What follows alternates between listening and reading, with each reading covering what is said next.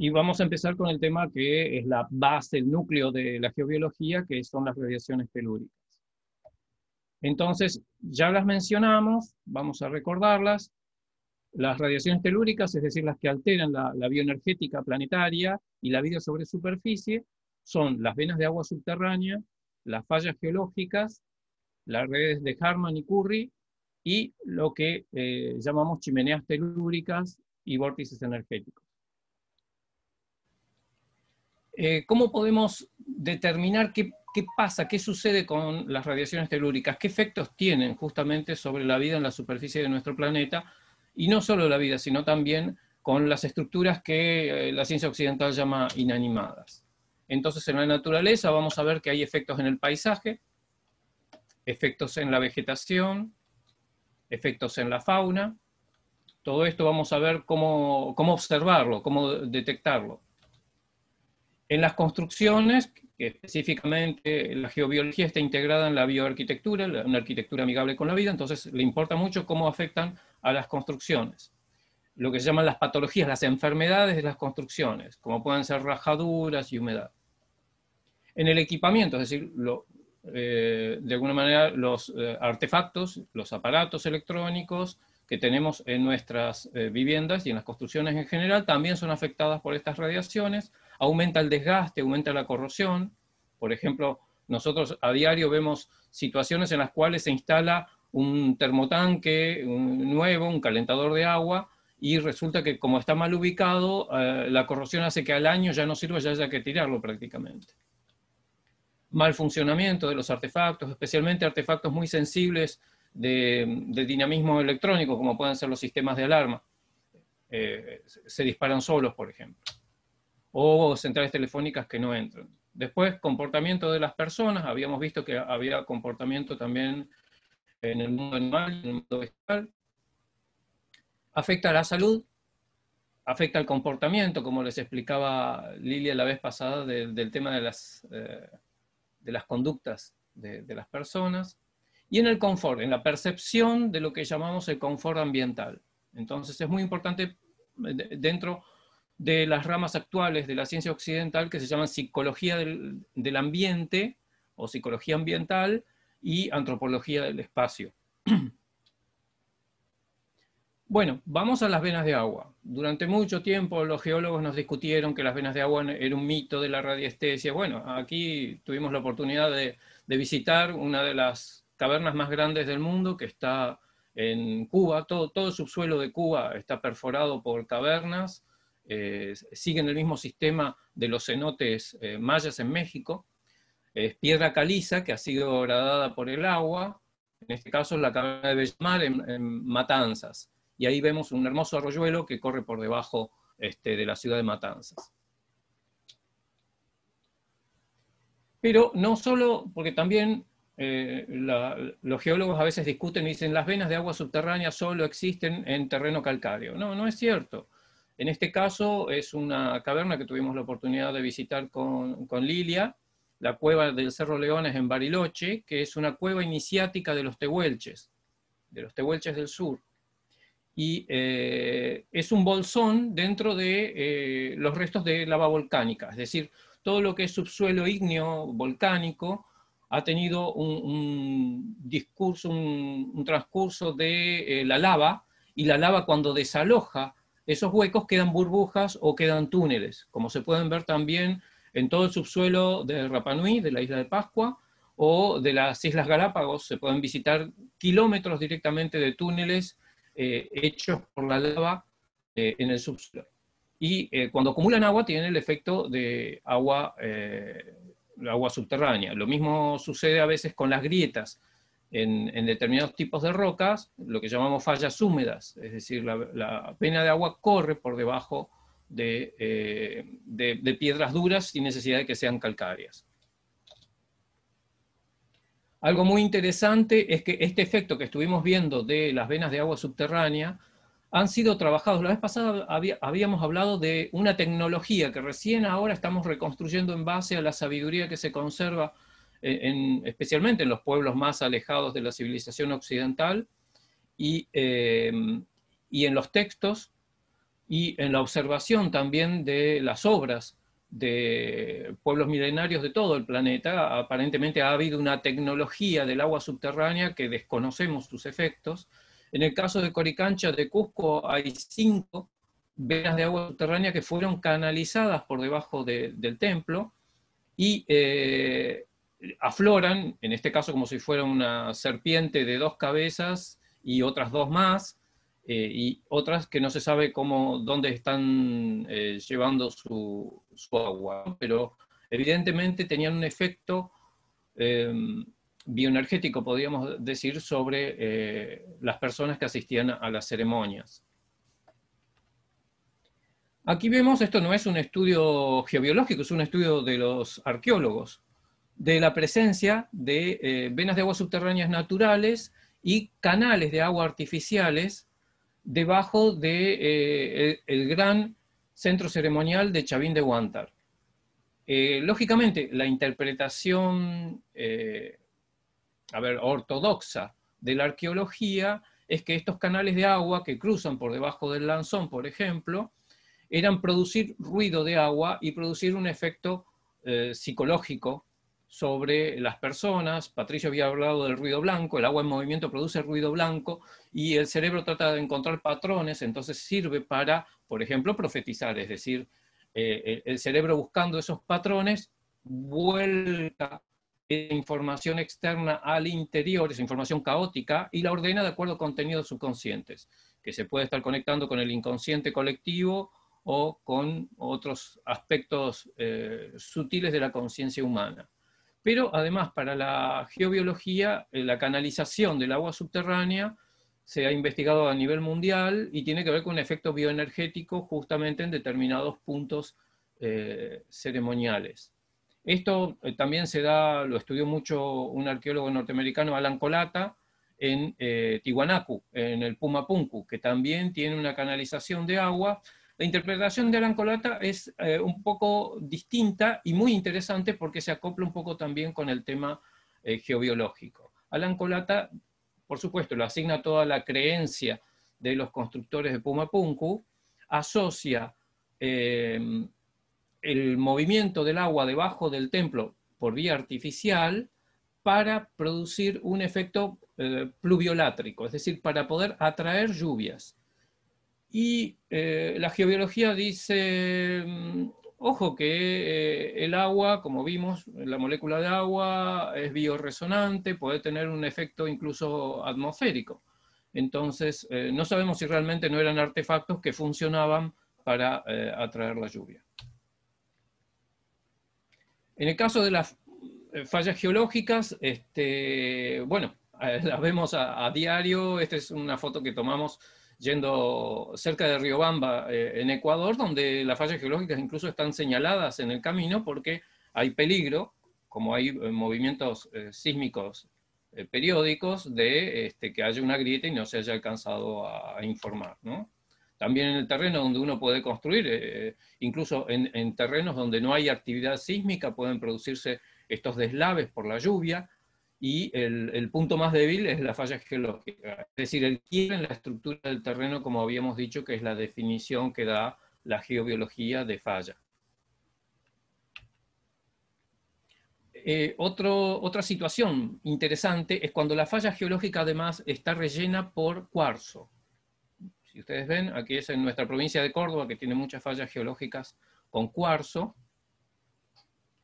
y constituyen lo que eh, nuestros indios comechingones llamaban las antenas de la Tierra, es decir, los puntos de contacto entre las fuerzas de la Tierra y del cielo. Y son particularmente importantes para los ceremoniales, pero no para viviendas. Recuerden esto que para la geología es importante.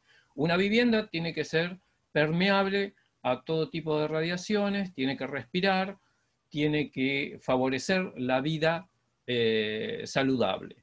En cambio, los centros donde uno va a tener estados especiales de conciencia es una energía muy fuerte que no todo el mundo puede manejar, como vamos a ver, y a su vez eh, no es aconsejable como vivienda. En, en, todo el planeta los sacerdotes nunca vivían en los templos, los templos eran para los dioses solamente. Otro fenómeno interesante que, eh, que, estudia la geobiología relacionado con las fallas geológicas es lo que Paul de Verú llamó eh, las luces terrestres. Aquí entramos dentro de la fenomenología ovni. ¿no? OVNI entendido como objeto volador no identificado. Para la geobiología, las luces terrestres son esferas de plasma. El plasma es un estado, recién hablábamos de, las cuatro fuerzas fundamentales eh, admitidas por la ciencia occidental y también de, eh, hablamos de los cuatro estados de, de, agregación de la materia, por decir así, sólido, líquido, gaseoso y plasma, que sería lo que antiguamente se llamaba fuego. Es decir, el plasma es un gas ionizado eh, totalmente mm, eh, desmembrados los átomos en eh, sus núcleos y sus electrones. Es como una sopa energética.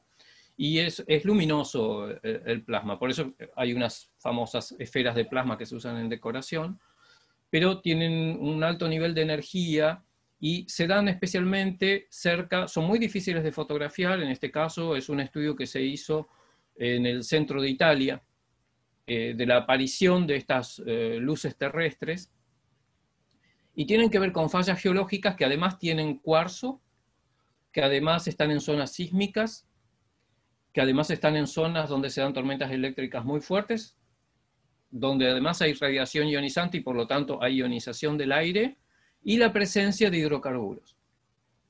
Todos esos factores se suman para que aparezcan las luces terrestres, especialmente antes de los terremotos. Así que es muy probable que eh, eh, se vean incluso antes de las erupciones volcánicas cerca de los volcanes y por supuesto los ufólogos lo asocian a mm, platos voladores, a naves extraterrestres, que no es el caso de la geobiología. En, nuestros eh, estudios hemos tenido la oportunidad de encontrar dos casos muy interesantes, uno en la provincia de Jujuy, allá por los 80, tuve la oportunidad de establecer un diálogo con, con una familia en una cuesta cerca de, Jujuy que se llama Cuesta de León, y eh, ellos narraban eh, la presencia de estas luces que bajan desde el cerro, son como esferas del tamaño de una pelota de fútbol, eh, luminosas, que se acercan, se acercan a la casa, a veces atraviesan la casa, a veces se detienen delante de las personas y después este, se van, y eh, el otro caso lo, este, fue una especie de entrevista que tuvimos también con una familia tradicional en, eh, cerca de Tafí del Valle, en Tucumán, en la provincia de Tucumán de Argentina. Y el relato era muy similar, también bajaban estas luces del cerro y también interactuaban cerca de las casas eh, en última instancia recuerden siempre no tocar estas esferas porque eh, hay gente que ha fallecido y hay gente que ha sufrido graves descargas con problemas para toda la vida en su sistema nervioso. Lo, interesante, eh, más allá del, relato, fíjense, acá hablaríamos un poco de lo que Patricio llama apofenia, es decir, el relato asociado con una percepción. Entonces dijimos que los ufólogos lo van a asociar con naves extraterrestres y es probable que este, algún canalizador hasta reciba mensajes de los extraterrestres que están dirigiendo esas naves. La ciencia occidental y la geobiología hacen su interpretación física plasmática de, este fenómeno. Y eh, los pueblos tradicionales, en los dos casos, pese a que están separados casi mil kilómetros de distancia, lo asociaron con espíritus de mineros fallecidos. Es decir, en la cercanía de la aparición de estas luces hay minas abandonadas. En esas minas han ocurrido derrumbes y en esos derrumbes ha fallecido gente. Entonces, eh, son relatos que explican la presencia del fenómeno.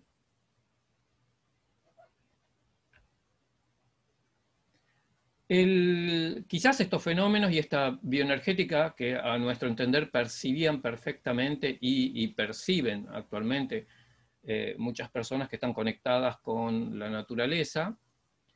Eh, les decía que había sido una tecnología que todavía no sabemos interpretar. Por ejemplo, el año pasado se presentó un paper donde este, relacionaban los lugares sagrados de los incas con fallas geológicas.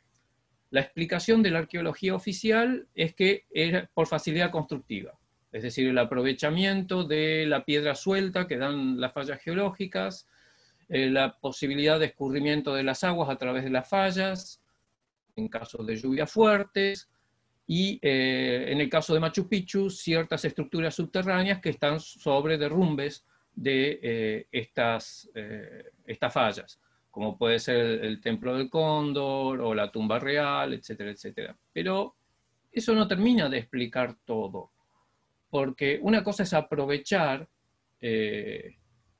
la facilidad que dan las piedras sueltas, por decir así, de una falla, y otra cosa es buscar específicamente un lugar lleno de fallas, y tenemos ejemplos de lugares donde las piedras no se, no se aprovecharon de las fallas, sino que se trajeron de kilómetros de distancia, como ocurre con Ollanta y Tambo, donde se, hasta incluso se, desvió el río para poder traer eh, rocas de una cantera que está enfrente a decenas de kilómetros de distancia. Entonces, eh, fíjense cómo está cruzada eh, Machu Picchu por las fallas geológicas. Recuerden que sobre las fallas geológicas tenemos mayor campo eléctrico, tenemos mayor ionización del aire, presencia de gas radón y todo asociado con alteraciones de la percepción también. Si no nos explica que eh, teniendo técnicas tan avanzadas como tenían en el caso de los incas, antisísmicas, eh, hayan construido su templo principal sobre una de las fallas geológicas más fuertes de la ciudadela y que haya sufrido estos daños. Pero eh, desde el punto de vista de la geología aplicada a la arquitectura sagrada, esto es similar a lo que veíamos con la descarga de rayos, es decir, es un precio a pagar por un lugar fuerte, es un lugar de poder. Y eh, el tema de eh, los daños que, recibe por sismos o por mm, descarga de rayos son secundarios frente a los beneficios que tienen para la práctica eh, religiosa ceremonial. Aquí vemos el estudio un poco más extendido de las fallas geológicas regionales y hay algo muy interesante, a ver si puedo correr, hacia este lado vemos que hay una gran falla geológica, la que está en blanco, que viene desde Copacabana, eh, Isla del Sol, y continúa un poco antes de Cusco, cerca de Piquillacta. Y esto coincide con la famosa ruta de Viracocha, señalada por Milla Villena. Eh, es decir,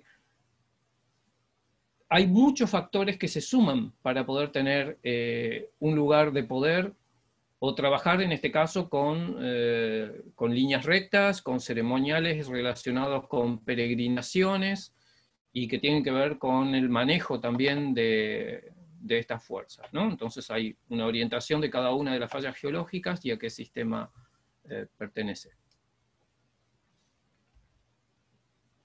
Otro ejemplo de cómo eh, aprovechar una falla geológica desde el punto de vista bioenergético no necesariamente constructivo. Esto es una estructura natural modificada por el ser humano. Esto está en Kenko Chico. Kenko Chico e, es un lugar astronómico religioso eh, cerca de, Kenko Grande, del Kenko más conocido, y lamentablemente no, se explora lo suficiente. Y aquí tenemos una tiana que habíamos hablado la vez pasada como punto de observación astronómica pero está justo en el eje de una falla geológica. Algo parecido en los chinos también, ¿no? Nahuel lo mencionó, para los chinos las fallas geológicas representan el aliento del tigre, mientras las venas de agua subterránea representan las venas del dragón. Y eh, solamente el emperador y los sacerdotes principales podían manejar esas fuerzas. Entonces el emperador podía ponerse tranquilamente, el emperador chino podía ponerse tranquilamente sobre una falla geológica y aprovechar esa energía que para otros es dañina. Y lo mismo quizás sucedería en el mundo andino con eh, sus amautas. ¿Cómo sabemos que es un punto de observación? Porque en estas piedras hay orificios en los cuales se ponían varas que servían como referencia para la alineación con puntos de la topografía en el horizonte y la salida y la puesta de distintos astros.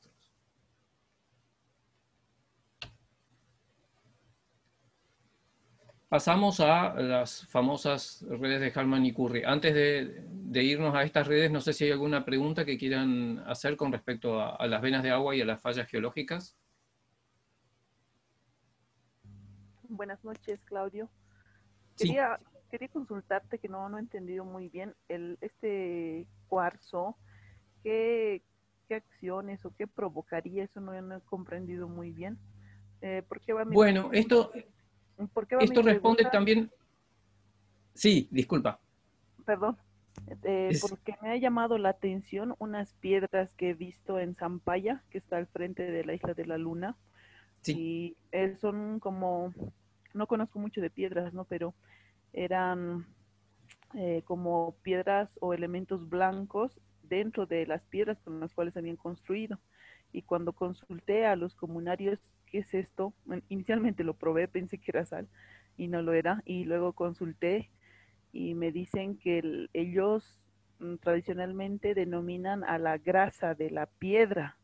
Y me llamó mucho, ¿no? A una amiga que es conservadora y conoce un poquito más de piedras, le dije que es, parece cuarzo, me dijo, ¿no? Una foto que le mostré. Pero por eso me interesaba qué, ocasionaría el cuarzo. Me llamó mucho la atención, nunca había visto piedras con estas, con estos elementos, ¿no? A ver, si me dejas, busco eh, en algún archivo tengo una foto de un edificio también de origen incaico que em, tiene cuarzo incorporado. Es muy interesante lo que dice. ¿Y dices que le llamaban la grasa de la piedra?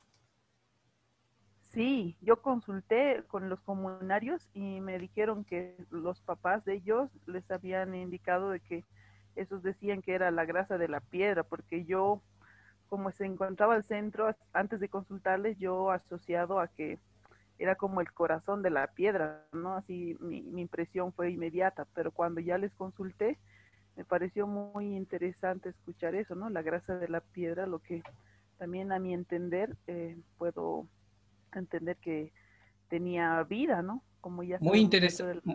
Muy interesante por, el, por la asociación con la palabra viracocha, ¿no? Que, bueno, ha tenido distintas interpretaciones, pero una de ellas es este, justamente la grasa sobre, sobre el agua. Entonces puede tener que ver con un origen, y por otro lado Titicaca, el, peñón de, estaño, ¿no? Puede tener que ver con... las fotos, si quieres te la muestro. Ahora te muestro la mía. Esto está en el norte, en el norte de Argentina, eh, en, una zona que tuve la oportunidad de explorar, que por supuesto los arqueólogos oficiales me dijeron, allí no hay nada. y bueno, ese nada son estas eh, hermosas estructuras incaicas, lo sabemos por los vanos trapezoidales, por los muros antisísmicos inclinados, y eh, están adorando este volcán que se llama Coyahuayma, que en la zona le dicen la princesa. Y fíjate, aquí hay una franja de cuarzo, esto está mm. a más de 4.000 metros de altura.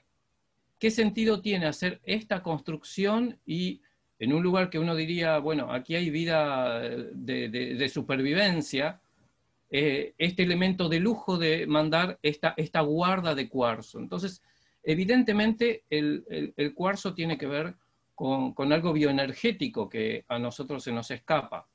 Pero la ciencia, lo que sabemos del cuarzo, el cuarzo es un cristal de sílice y tiene distintos efectos, desde efecto fotoeléctrico hasta efecto piezoeléctrico. Lo que sucede con el, cuarzo dentro de las fallas geológicas es que ese efecto piezoeléctrico significa que cuando es sometido a presión emite electrones. Es decir, es como un transistor, por decir así. Cuando antes de un terremoto empiezan a moverse eh, sectores de la Tierra que van presionando sobre las fallas y eso hace que el cuarzo emita campo eléctrico. Ese campo eléctrico es percibido por eh, animales muy sensibles. De hecho, eh, en Estados Unidos, en los laboratorios de, predicción de terremotos, tienen anguilas eléctricas en peceras, porque eh, esas anguilas perciben mucho la variación del campo eléctrico. Y lo mismo sucede con los caballos. Los caballos se vuelven locos, las llamas también, y las vicuñas mucho más que las llamas, perciben estas alteraciones y se ponen muy nerviosas y creo que era la mamá de Vale que, nos contaba que después de un gran terremoto había quedado sensible, porque el tema bioenergético funciona a veces como, como las alergias. Cuando uno tiene un shock, de, por ejemplo, un shock químico, después queda alérgico a esa sustancia química. Desde el punto de vista bioenergético, cuando uno recibe un shock de energía, después queda hipersensible a ese mismo tipo de energía. Em, por eso en el mundo andino em, eran muy valorados los eh, chamanes que sufrían eh, la descarga de un rayo, porque de alguna manera quedan conectados con la energía de, enlace entre el, cosmos y la Tierra. Eh, sí, vale, ibas a, comentar. Esto te quería mostrar, Claudia, perdón. Ah, Pacha, perdón, perdón, sí. Es, esto, ¿no? la foto que estoy compartiendo para que veas que es simplemente una porción de la piedra. Y eran varias piedras, ¿no? Fíjate, son como, yo lo asumí como un corazón. Son, son geodas. Son las geodas son cristalizaciones, sí, son derivadas del cuarzo, sí, es cuarzo. Eh, ahora, ¿qué, hacen ese tipo de piedra? No sé, pero bueno, algunos amigos dirían que esas piedras pueden llegar a ser artificiales, pero bueno, eh, habría que hacer un estudio químico más completo, pero sí es cuarzo, la presencia del cuarzo era, como vimos, valorada eh, en estas culturas y las casas son muy parecidas a las que muestras, ¿no? De piedra, por eso se conoce este lugar. Sí, sí. Eso no es la Isla del Sol, ¿no? Es de la Isla de la Luna al frente, se llama Zampaya. Está en el lago, también a las riberas del lago. muy interesante, muy, lindo. Es muy, lindo el lugar, es, patrimonial, es arquitectura en piedra y es súper interesante. Bueno, Buenísimo. Gracias. ¿Vieron cómo, todos aprendemos. Sí, no sé. Buenas noches con todos. Eh, ¿Qué tal, hacer algún aporte, ¿no? Sí. Eh, simplemente eh, eh, también, o sea, como el entorno, por ejemplo, desde la visión occidental, por ejemplo, la consideran como un, como un objeto, ¿no? Y, y, es por eso que se puede hablar de, qué sé yo, de fracturas y toda cuestión, pero eh, es otra la percepción, es otra la visión cuando hablamos de sujeto a sujeto. O sea, eh, para, el, para el Zuna o para el, para el hombre andino, por ejemplo, el entorno no es una cosa, ¿no? En primer lugar, ¿no? Sino es parte misma. O tiene, tiene también vida, puede llorar, puede cantar, se alegra, ¿no? Y, eso sería uno. Y la otra es, y la otra es que, eh, por ejemplo, en, en, la isla del Sol, en, en la isla en, en, en, Tiwanaku, en, Machu Picchu, por ejemplo, estas, estas fuentes de agua, por ejemplo, nunca se acaban. Eh, nunca se acaban porque se habla mucho de la crianza del agua. No sé si ustedes han escuchado eso, ¿no? Entonces, justamente eh, lo que llama la atención es en, este, en, en, Cusco, ¿no? En Cusco, por ejemplo, eh, lo, lo, que usted estaba mostrando, por ejemplo, nunca se acaban, nunca se acaba el agua. Y, todos se preguntan, pero ¿por qué nunca se acaba el agua? Porque en realidad los, abuelos, los ancestros, practicaban la crianza del agua. Bueno, es, pues un relato muy largo, yo puedo compartir eso, pero simplemente es, es como un aporte, ¿no? Para, para ver también la relación. ¿Puedes e, explicar brevemente lo que es eh, la crianza del agua? ¿E, ¿Es una ceremonia? ¿Es una práctica? Sí, es una práctica, es, un, es una práctica, es un diálogo, ¿no? Es un diálogo, por ejemplo, eh, entre el Hanan, la, la, parte de arriba, donde están las constelaciones estelares, el Kai, donde nosotros estamos, ¿no?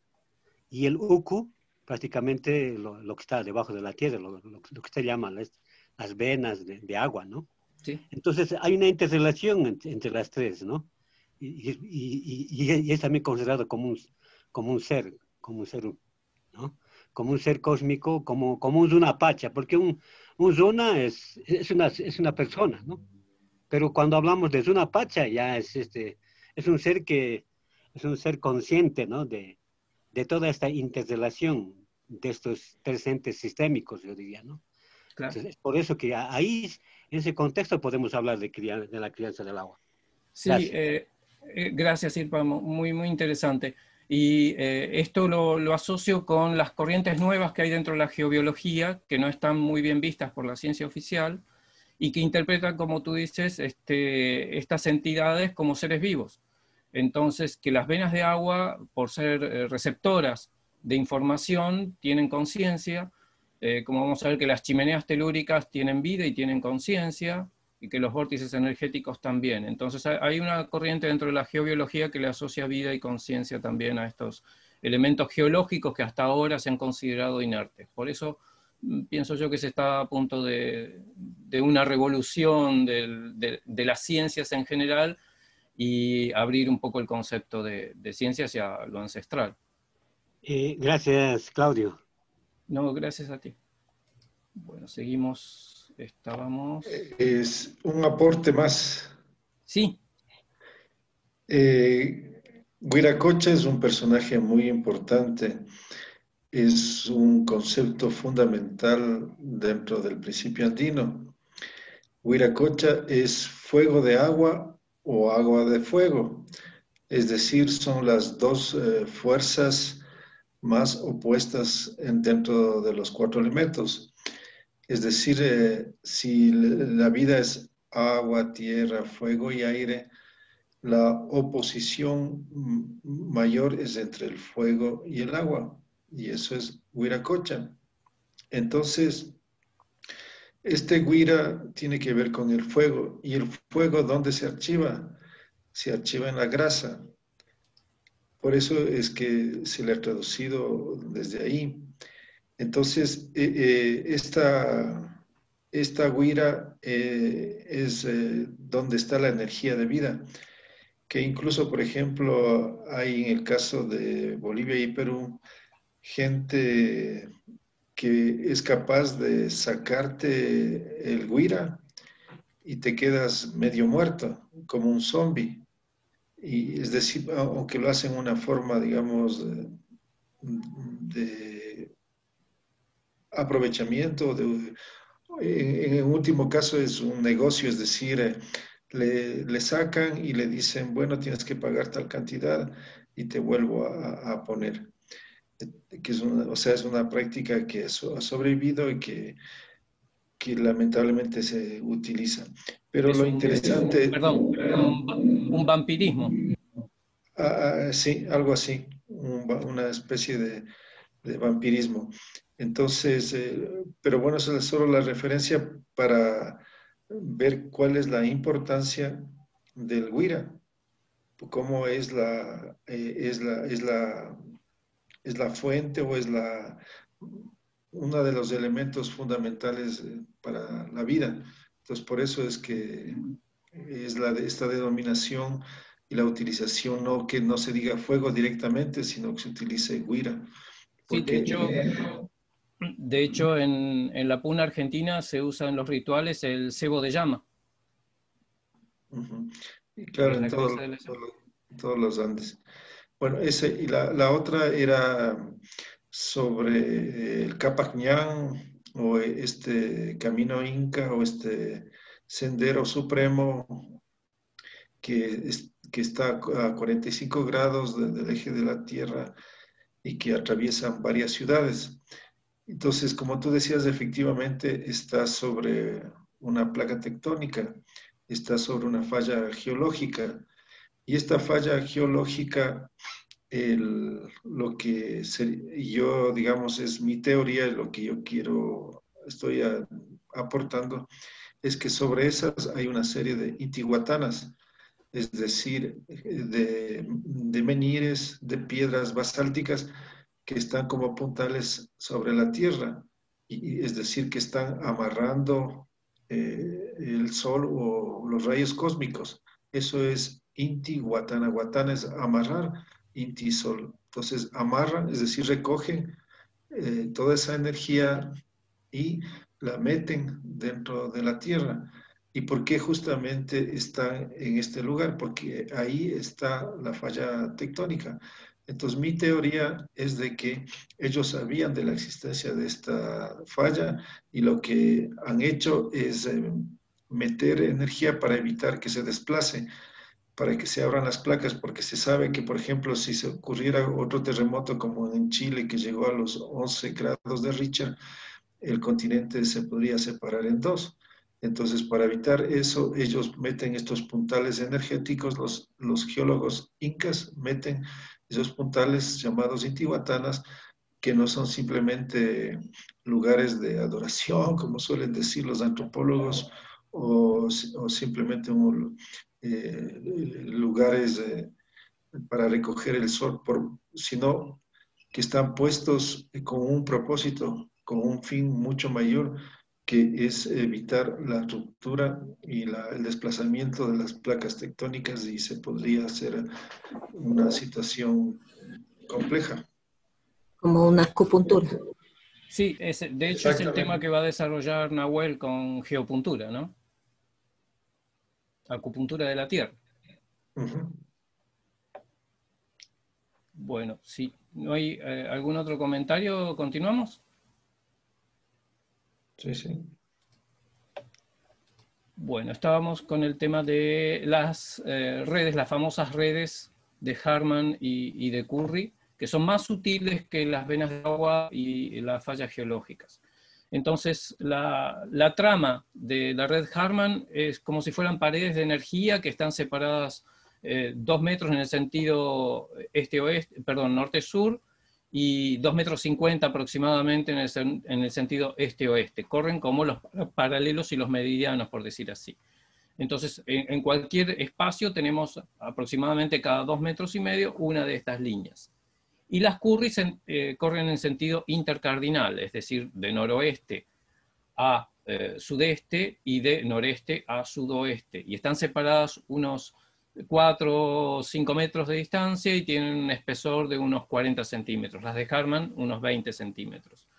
Entonces, esas líneas, mientras haya una sola, no hay problema. El planeta es la red de energía de, la Pachamama o de Jalpamama, eh, como aclaraba eh, la vez pasada el profesor. Y em, cuando se superponen, cuando se cruzan, sí tenemos un efecto sinérgico que nos da el doble o más de energía de la que lleva cada una de estas líneas y se produce un cruce geopatógeno. En este caso hemos ejemplificado con una imagen de un cuarto, una cama y sobre la cama una persona. Esa persona está durmiendo todos los días sobre lo que nosotros llamamos un cruce triple, es decir, se cruzan dos líneas de Harman y una vena de agua subterránea. En este caso, esta persona desarrolló un cáncer de riñón, las penas de agua resuenan con los líquidos del cuerpo, especialmente con el, sistema circulatorio, vejiga, riñones, etc. Eh, y la falla geológica le pasa cerca de la cabeza, pero bueno, e, eso a lo sumo podrá afectarle psicológicamente. Entonces, este es lo que nosotros no vemos habitualmente y que se puede detectar con las técnicas que vamos a ver más adelante. Pero que eh, hay personas que, por ejemplo, las ven estas líneas y de hecho eh, la geobiología cree que los hay ciertos tipos de animales que tienen en el rango de frecuencia de su, percepción, pueden llegar a eh, detectar estos puntos que son geopatógenos, es decir, que producen enfermedades si uno está largo tiempo sometidos a ellas.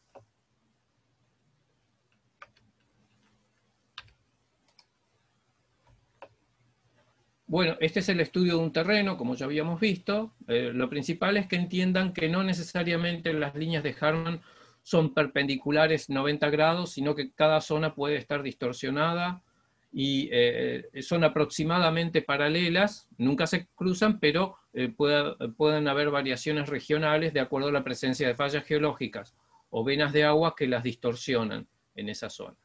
Y afectan también al crecimiento de plantas y eh, a los materiales de construcción. Otro fenómeno que estudia la geobiología son las chimeneas telúricas. Las chimeneas telúricas son, como columnas que conectan las fuerzas de la Tierra con las fuerzas del cielo. Esas columnas mantienen el equilibrio eh, bioenergético entre ambos niveles y a veces se traducen, como en este caso, eh, fíjense, hay una diferencia esta medición la hicimos hace más de 25 años y esta la habremos hecho hace 15 años. Son distintos lugares y aparecen estos círculos que algunos lo atribuyen a descenso de ovnis, otros eh, les llaman los círculos de las hadas, están en todo el planeta. Hablando con agrónomos que han estudiado el fenómeno, dicen que hay eh, colonias bacterianas que se esparcen por todo este círculo, pero incluso llegan eh, al punto de haber eh, mutaciones genéticas en el pasto. Uno lo ve porque, por ejemplo, el pasto en vez de ser verde es blanco o crece más alto, como se ve aquí, que en el centro o que en el resto de los lugares. Entonces hay, efectos de radiación y efectos eh, químicos presentes. Esto es la manifestación de la presencia de lo que geobiología llama chimeneas telúricas, que es uno de estos fenómenos que actualmente se están estudiando si son realmente seres vivos. Mm, la, rama que, lo estudia, que se apoya en la bioenergética humana, habla de seres eh, del campo etérico es decir, un, nivel un poco superior al, físico perceptible por el ser humano. Y aquí vemos cómo influye sobre el resto de las radiaciones de Harman y, de Curry.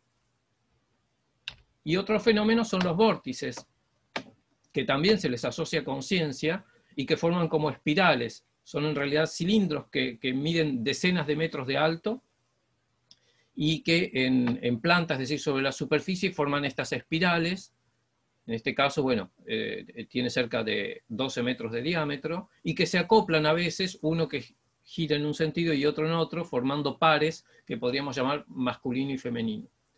Y aquí les traje como ejemplo una, roca de la zona de Tulipe del norte eh, de, Ecuador, donde tuvimos la oportunidad de estar también, y donde eh, en sus pictografías abundan las espirales y que incluso los aborígenes de Australia que representan estas espirales en, las piedras, ellos lo asocian a vórtices que están debajo de la tierra, es decir, a remolinos, incluso en, zonas desérticas, pero que están asociados siempre con la presencia de agua subterránea.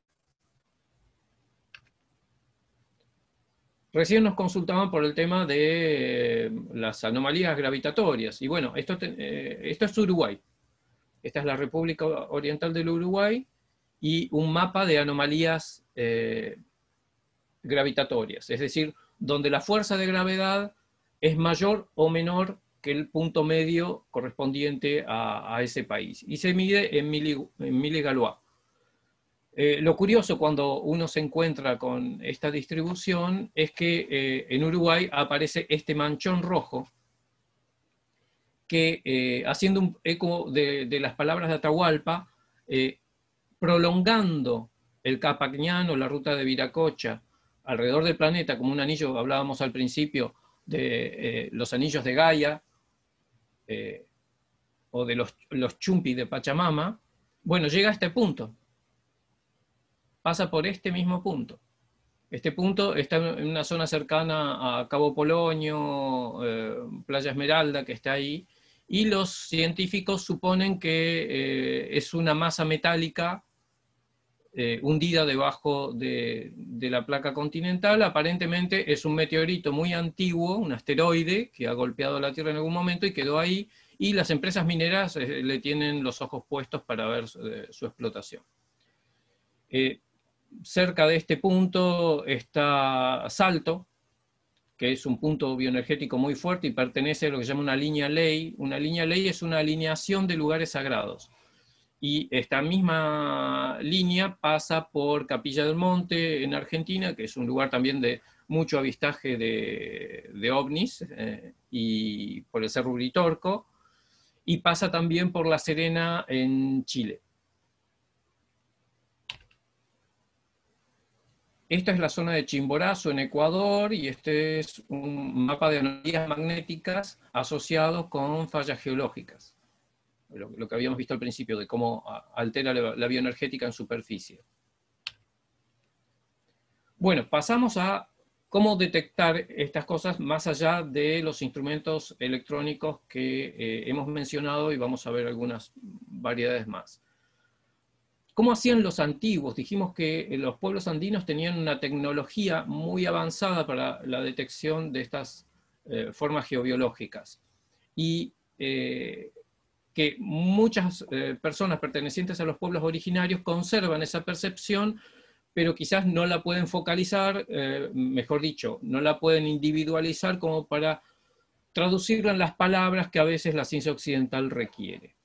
Entonces, eh, cuando uno quiere percibir directamente en un lugar la bioenergética relacionada con lo geobiológico, yo les hice este ordenamiento que hay que tener para eh, no, condicionarse de alguna manera, porque a veces a uno le hacen un comentario y entonces la mente es muy rápida y, puede eh, cambiar la percepción. Por eso lo principal es la primera impresión, es como, como el amor. Eh, la primera impresión es la que vale, la que no engaña. Y esa primera impresión es emocional. Lo que tienen que hacer cuando ustedes llegan a un lugar, ya sea una casa, un lugar que eh, están pensando si lo van a alquilar o, van a mudarse a ese lugar, o si quieren estudiar un lugar sagrado, lo primero es la primera impresión.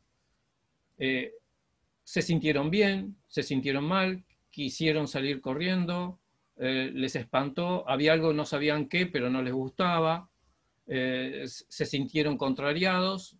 esa primera impresión es lo fundamental, es lo que define el lugar pero teniendo en cuenta que no hay nada absolutamente objetivo, es decir, todo es la interacción del entorno con uno mismo. Como recién decía el hermano, este, no hay un límite fijo entre el ser y el entorno, es todo lo mismo. Entonces, pero de esa captación vale mucho la impresión general. Lo siguiente es la observación, que es racional, es empezar a ver qué cosas se mueven, que lo vamos a ver ahora en detalle, de ver algunos síntomas, por decir así, teniendo el, lenguaje médico, para poder hacer un diagnóstico. Lo siguiente es la sensopercepción, es decir, es la información que nos transmiten los sentidos y cómo la percibe nuestro cerebro, es decir, cómo la traduce en imagen. Por ejemplo, Patricio les habla de pareidolia. Bueno, la pareidolia es una sensación, es decir, un impacto, puede ser visual o puede ser auditivo u olfativo, y el cerebro lo asocia inmediatamente con una forma porque busca patrones conocidos a través de ello. Pero esa información, de alguna manera, nos viene de una afuera que, como decíamos, eh, está interrelacionado con nosotros. Lo siguiente, y eh, muy interesante, que esto ya se los anticipó Nahuel, es la propiocepción. Es decir, así como tenemos órganos sensoriales externos, hay órganos sensoriales internos. Es decir, hay em, sensaciones que nos permiten movernos a través de las distintas circunstancias, como eh, la sensación de calor, de frío, de equilibrio, para saber si estamos posicionados en vertical o estamos horizontales, tenemos una percepción a través del campo gravitatorio, especialmente en los líquidos del oído interno, que nos dice cómo estamos a nivel de desequilibrio. Y una serie de sensaciones internas que están asociadas con eh, la buena salud inclusive. Entonces, eh, un poco cuantificando lo que les había anticipado Nahuel, tenemos sobre las venas de agua subterránea, sentimos esa sensación de frescor y, e incluso algunos empiezan a segregar saliva, porque evidentemente es una percepción que el ciudadano occidental ha olvidado y que tiene que ver con la supervivencia. Entonces es probable que los Neandertal y los primeros Homo sapiens hayan percibido intuitivamente el agua subterránea a través de esta secreción salival. Las fallas geológicas nos van a producir inquietud, tensión muscular, de alguna manera lo mismo que le pasa a la Tierra, que está en tensión antes de un terremoto, eso mismo se siente a través de esta percepción interna. La red de Harman, especialmente cuando uno la atraviesa, se, se perciben como muros que uno va chocando. Esto se estudia mucho eh, en un campo de la geobiología, que es el de los accidentes automovilísticos. Cuando se sobrepasa el límite de los 80 kilómetros horarios, las paredes de la red de Harman chocan contra nuestro sistema nervioso y nos hace desarticular desde el punto de vista de la orientación. Entonces eso puede favorecer accidentes porque uno le fallaron los reflejos, dicen. Bueno, por algo fallan los reflejos sensación de pinchazo, eso es la ionización ambiental, se percibe como, como pinchazos en la piel. La red de Curry, que tiene que ver también con lo emocional, eh, se percibe también como densidad, pero lo que produce es una falta de tono muscular, nos baja la fuerza. Por eso nosotros en las clases, cuando hacemos la prueba, de, eh, especialmente de los incrédulos, los hacemos poner sobre un cruce de Curry y les damos lo que llama un dinamómetro que mide la fuerza muscular para que vean que les bajó la fuerza muscular por mejores atletas que sean. Y las chimeneas y los vórtices energéticos producen esa sensación de remolino, de mareos, de vértigo, como les conté que me pasó dentro de una de las chulpas de Siyustani. Eh, en el caso de, hay chimeneas ascendentes y chimeneas descendentes. Las chimeneas ascendentes, uno siente la sensación de la cintura para arriba como que lo quieren llevar al espacio y las descendentes nos quieren llevar debajo de la tierra. Bueno, habíamos dicho del tema de la observación, pasada la, primera impresión, empezar a observar en el entorno qué es lo que sucede, qué, es lo que está fuera del rango de lo que podríamos llamar, entre comillas, normal. Eh, en este caso, fíjense, este es un lugar muy alterado que encontramos en, la costa de la provincia de Buenos Aires, en Argentina, donde los pinos eh, crecen de esta forma, eh, incluso los vientos predominantes vienen del sentido opuesto, el norte está en el sentido opuesto, así que no se justifica que hayan crecido de esa forma. Hay árboles fulminados por rayos, aquí vemos un eucaliptus que, murió este, fulminado. Eh, las hierbas crecen de un modo totalmente alterado, eh, incluso hay, yuyos que, no, no, tendrían que haberse muerto porque esto era en pleno verano y sin embargo estaban secos. También en construcciones cercanas vimos rajaduras que, no se explicaban desde el punto de vista estructural, evidentemente hay como eh, inestabilidad en el suelo. Otra cosa a observar, especialmente en construcciones que hace tiempo que no se habitan y que no han recibido mantenimiento, son estas patologías que nos reflejan, por ejemplo, en esta zona, evidentemente está sobre una vena de agua subterránea, donde aumenta la cantidad de humedad y llega al punto de crecer una palmera eh, en un primer piso. Y lo mismo, aquí crece una planta eh, muy común en nuestro territorio, se llama palán palán, que es una planta sanadora, pero le encanta crecer sobre las rajaduras de las construcciones. Y fíjense, tenemos eh, cualquiera podría decir, no, esto debe ser una pérdida en el techo que ha producido eh, humedad y eso ha hecho crecer las plantas. Pero aquí vemos una que está creciendo en la baranda de la terraza, por lo tanto no se justifica en la azotea. Esto es en un campo también de la provincia de Buenos Aires, una zona que permanentemente cae en rayos. Entonces es una zona muy alterada justamente la, dueña del terreno lo, había elegido para construir, le dijimos no, en zonas donde alguna vez cayó un rayo, y más aún si han caído varias veces, este, no construyas. Otra observación que se puede hacer son ya sea puntos calientes o puntos fríos. Es decir, cuando ha nevado, un punto que no se justifica por la sombra de un árbol o por otra razón, si no encontramos otra razón física que en el suelo la, nieve se haya derretido antes que en el resto del, terreno, siendo que el sol todavía no llegó a darle en ese punto, eh, estamos en presencia de un fenómeno geobiológico, es decir, hay algo ahí bajo la superficie que está dando mayor temperatura. Y lo opuesto también, es decir, lugares donde todo se descongela primero y eh, ese punto queda eh, frío y queda con hielo, como sucede en algunos sectores de los techos de las casas cuando no hay otra explicación, una vez más, como eh, sombra de un árbol.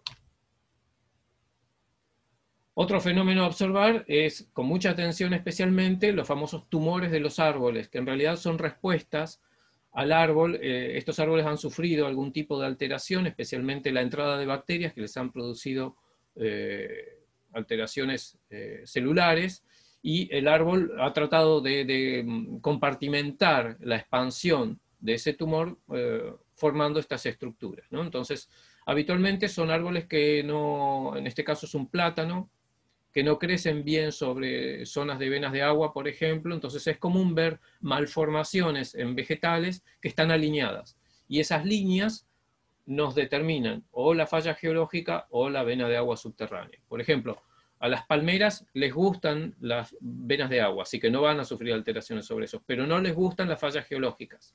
Entonces, eh, cuando una palmera está creciendo con alguna anomalía, sabemos que está sobre una falla geológica.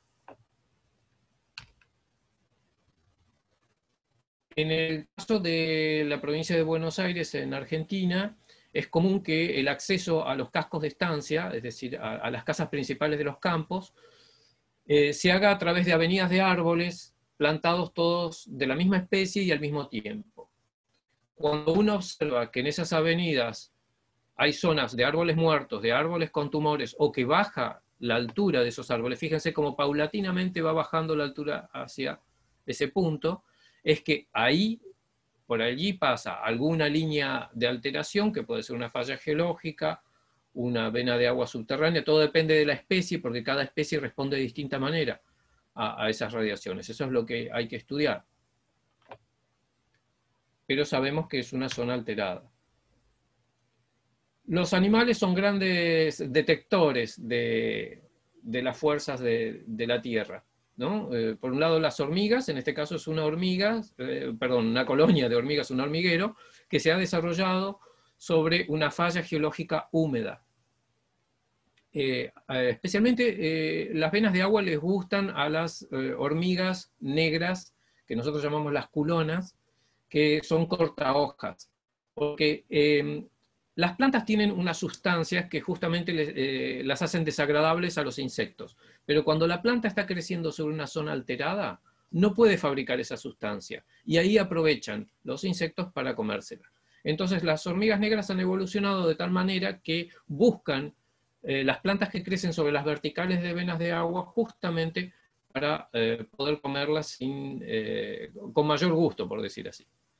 Después tenemos los gatos. Los gatos son detectores fantásticos porque, así como decíamos que el ser humano pierde constantemente iones positivos, el gato los aprovecha. De hecho, se nutre energéticamente con los iones negativos que pierde el, ser, humano se carga positivamente, que no es bueno, a través de la pérdida de iones negativos. Y al gato le encanta aprovecharse de esos iones negativos que pierde. Entonces también busca los puntos que tienen mayor flujo de esos eh, iones negativos. Por eso siempre hay que dejarse hacer gatopuntura. Cuando uno está mal de algún problema de salud y el, el gato lo busca uno, lo rasguña, incluso lo muerde, si uno se tira boca abajo en la cama, va sobre la espalda y empieza hacer como un masaje, el gato está haciendo uh, gato puntura. Es decir, lo que está haciendo es ver dónde tenemos ese conflicto energético, ese nudo, entonces él lo que ve es un, eh, eh, es un punto de aire ionizado y, y lo que hace va a nutrirse de ese punto. Por eso también cuando estamos mal de las vías respiratorias, los gatos se acercan y toman nuestro aliento cosa que fue mal interpretado en la Edad Media y pensaron que eran encarnaciones de brujas que tomaban eh, el alma de las personas. Entonces, ¿qué hicieron? Mataron a todos los gatos y después vino la, a todos los gatos y después vino la peste bubónica porque no había quien controlara las ratas. Bueno, acá vemos un ejemplo. Pobre chica, evidentemente la cama no está en el mejor lugar porque los gatos están compitiendo por aprovechar ese sitio. Otro, la vez pasada alguien comentaba del tema de las abejas y justamente las abejas enjambran sobre, eh, habitualmente lo que buscan es el cruce de venas de agua subterráneas. También porque las abejas necesitan humedad, necesitan este, la regularidad de la temperatura en invierno. Entonces, cuando en una casa las abejas todos los años enjambran y se saca el enjambrado y vuelven al año siguiente a hacerlo en el mismo punto, es que ese punto está alterado. Eh, como consejo, nunca las maten, pobres eh, abejas que vienen en disminución en el planeta. Si ustedes llaman a un apicultor y le dicen que hay un enjambre de abejas en sus casas, agradecido se lo va a llevar porque para él es un tesoro y, gana mucho dinero con, eh, con aprovechar un enjambre ya hecho y tiene todas las técnicas para hacerlo con la mayor seguridad. Aquí vemos justamente un camino de, de hormigas y como sigue, fíjense acá los hormigueros alineados al lado de este árbol. Este árbol está condenado, evidentemente. Y aquí estamos en la provincia de Tucumán, en Tafí del Valle, eh, justamente viendo cómo coincide con una vena de agua subterránea. Ahí estoy midiendo con una vara Lecher, que es una versión moderna de, la horqueta de, de rabdomancia. Este, este, árbol también está creciendo alterado, es lo que llamamos un árbol telúrico, y la alineación con los distintos hormigueros que han alcanzado proporciones gigantescas en este campo.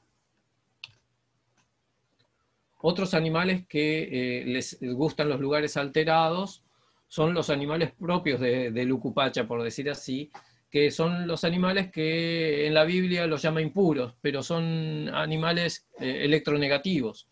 Es decir, que incluso se usan mucho para esto que decimos las enfermedades. En el norte de la Argentina, por ejemplo, se usa mucho el sapo.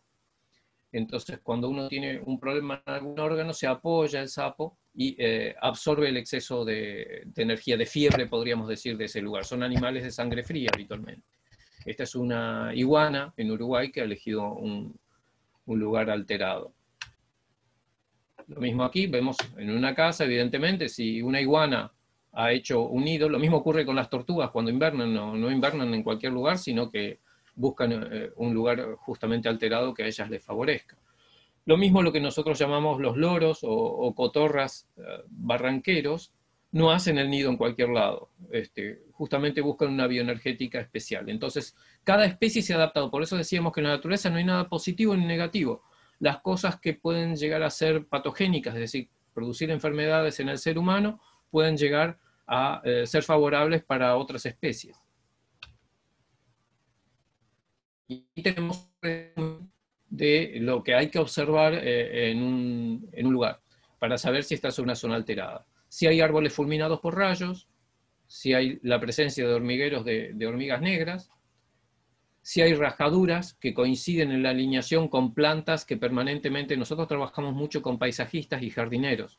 Cuando en un cerco se muere una planta, el jardinero la reemplaza, se vuelve a morir, la vuelve a reemplazar y se vuelve a morir, evidentemente es una zona que a esa especie al menos no, le favorece.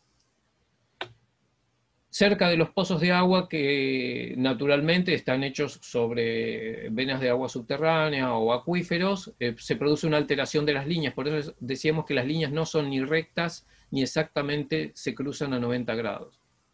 Árboles con tumores y accidentes repetidos por esta razón que les decíamos, en geobiología a veces somos convocados eh, por autoridades municipales para estudiar lo que llaman puntos negros. Puntos negros son los puntos donde la tasa de accidentes eh, automovilísticos es mayor de la que correspondería y habitualmente no están ni en curvas ni en lugares peligrosos que haya que hacer una maniobra que, que favorezca un accidente, sino que pueden ser tramos rectos y de repente aparecen puntos negros. Entonces, el rol de la geobiología es detectar cuál es la fuente que produce esta interrupción entre el sistema nervioso central y los reflejos que eh, favorecen los accidentes.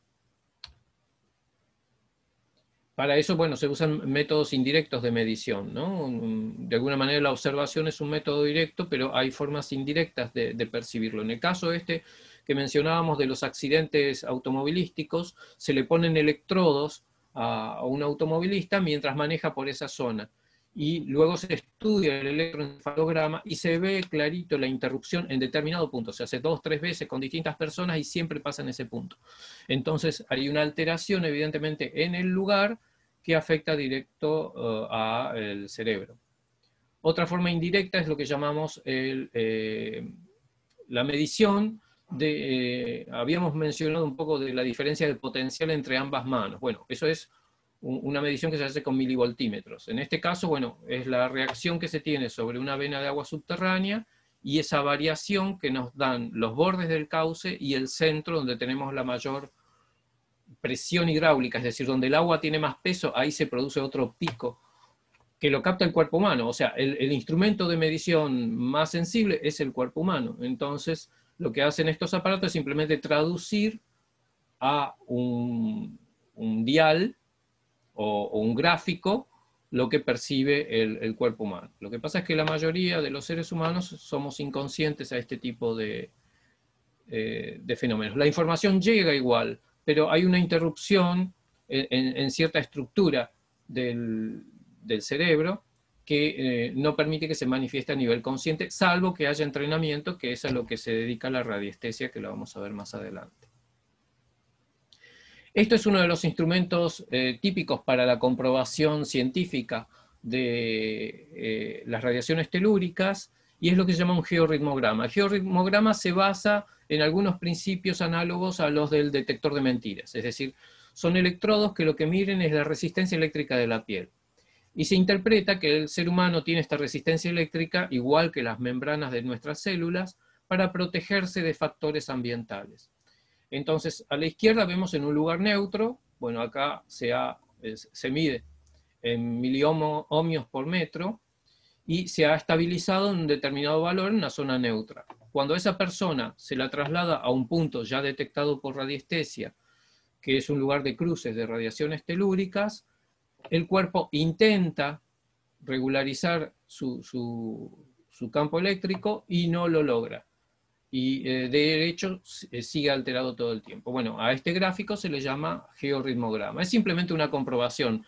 No tiene ninguna aplicación práctica más allá de la comprobación científica porque evaluar cada punto lleva 40 minutos. Así que no se puede someter a las personas a este estudio porque en una habitación tendríamos que estar varios días para poder detectar cada punto una experiencia muy interesante la tuvimos en la Ciudadela Sagrada de los Quilmes, en la provincia de Tucumán, en Argentina. Es, es pre-incaica. Eh, fíjense qué hermoso diseño orgánico tiene esta eh, ciudad totalmente adaptada a, las curvas de nivel del paisaje de las montañas. Y eh, de la misma manera que los incas dejaban ciertos sectores con la roca madre, porque de alguna manera representa una especie, si vamos a aplicar una pareidolia, como si fueran personas, seres que van bajando la montaña. Fíjense estas estructuras. Y forman parte del de, eh, sector eh, sagrado, de, al menos por las cosas que se encontraron y los enterratorios, se asocia con el área sagrada de la ciudad. Debajo de la estructura mayor de este lugar hay justamente una falla geológica, perdón, eh, donde hay una caverna. En esa caverna se encontró un enterratorio de, importancia, se calcula que era o un cacique o un sacerdote, y eh, la cueva está abierta eh, a la salida del sol en el solsticio de invierno. Nosotros hicimos la prueba con un milivoltímetro, es decir, midiendo la diferencia de potencial entre ambas manos. Se tiene unas barras metálicas en las cuales se conectan los electrodos del, del milivoltímetro y lo hicimos con cuatro personas. Entonces, en el caso de Lilia, que está aquí, este, la diferencia de potencial cuando entró y estuvo unos minutos dentro de la cueva eh, aumentó. Eso significa que se cargó las pilas, por decir así, se llenó de energía y se fortaleció. En el caso de esta chica, entró, también hizo la misma prueba, estuvo varios minutos y el campo eléctrico, la diferencia de potencial bajó. De hecho, ella admitió que no, se, sintió bien ahí, se sintió incómoda en ese lugar. Es, como que el lugar le chupó energía. En el caso del fotógrafo que nos acompañaba, bueno, él, como Lilia también se cargó, eh, él es un amante de, todo lo que es la, cultura del noroeste argentino, y se cargó las pilas, eh, no, no en el nivel de Lilia, que es muy sensitiva, y además Lilia tiene una pauta que siempre pide permiso antes de entrar a los lugares sagrados. Y cuando entré yo, tuve el mismo valor afuera que adentro. ¿Por qué? Porque estaba en una posición racional en la cual yo estaba midiendo, entonces estaba midiendo afuera y estaba midiendo adentro, entonces para mí era lo mismo, no estaba abierto a las influencias eh, del lugar. Entonces, ¿esto de qué nos sirve? Para ver que cada lugar puede funcionar de forma distinta en cada persona por su propia naturaleza y por la actitud que tiene esa persona con respecto al lugar. Entonces, si uno va a abrir lugares sagrados al turismo, por ejemplo, tiene que ser muy respetuoso y dar ciertas pautas. Es decir, la persona que acompañe tiene que estar iniciada eh, en estos principios y dar pautas de preparación para que la persona no, eh, de alguna manera, no altere la energética del lugar y el lugar no lo altere a él. Se da el caso, por ejemplo, de un lugar sagrado que tenemos en la provincia de Córdoba, que es el Cerro Uritorco, donde mucha gente que sube hasta la cumbre del Cerro Uritorco se siente fortalecida, percibe cosas, le cambió la vida, otras personas se descomponen, hay personas que han fallecido, tiene una tasa de muerte bastante alta con las personas que suben y no tienen una altura tan grande, tienen 2.000 metros. Eh, entonces, cada persona eh, percibe el lugar de distinta manera. Antes de, avanzar con esto, ¿hay algún comentario, alguna experiencia, alguna consulta?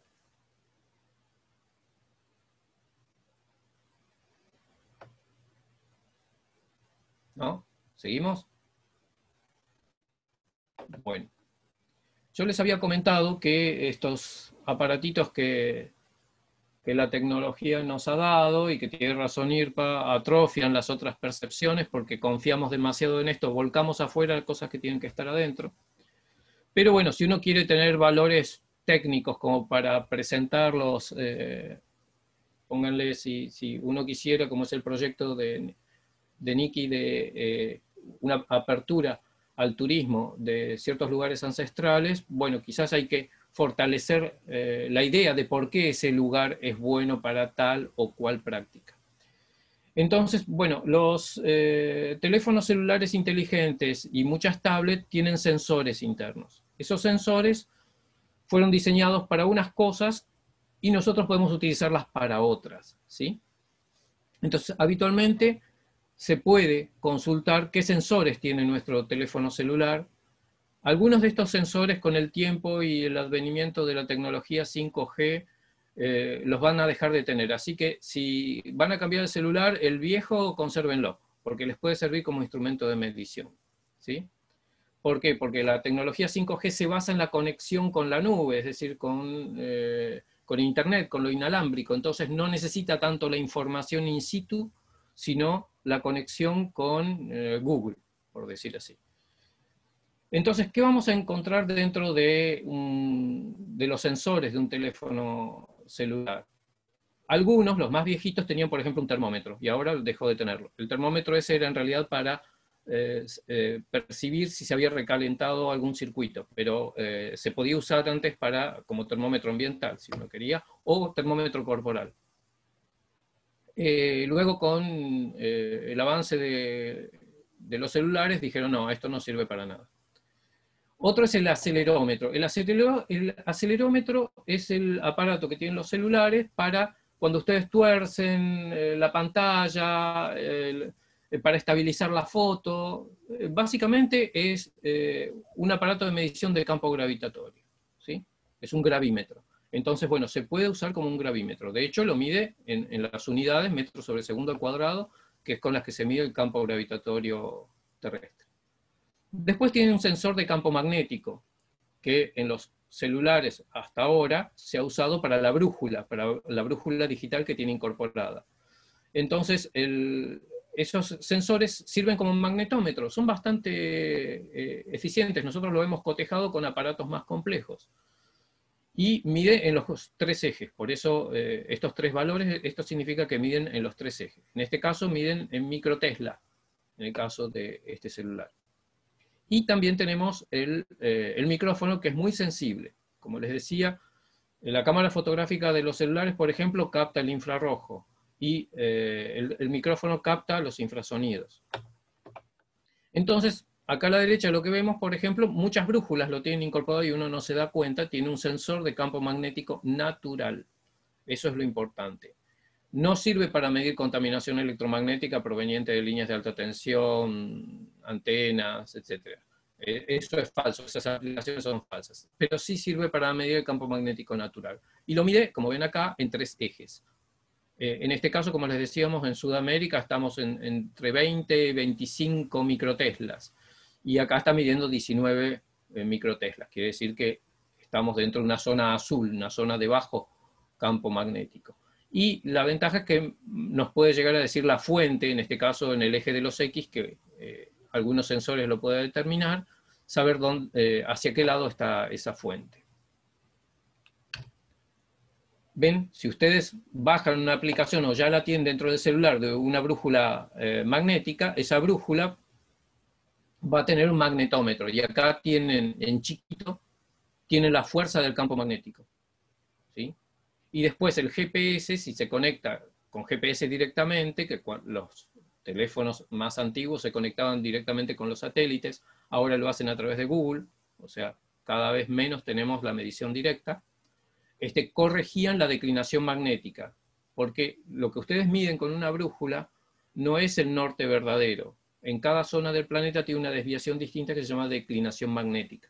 Entonces, cuando uno quiere conocer el norte geográfico, especialmente si va a hacer una medición de arqueoastronomía, tiene que conocer la declinación del lugar o tener una forma de eh, calcularla. A la derecha lo que decíamos el gravímetro, ¿sí? de hecho hay aplicaciones, acá hay una Gravity Meter, que sirve para usar los sensores del, eh, del teléfono celular para medir la fuerza de gravedad eh, en determinados sitios. Cuando, en este caso, fíjense, un G es el promedio del planeta a nivel del mar, el promedio del geoide, de la forma eh, peculiar del, planeta. cuando tengo más que lo normal, es probable que abajo tenga una eh, masa metálica o algún mineral denso. Cuando da menos, es probable que tenga una caverna o una vena de agua subterránea.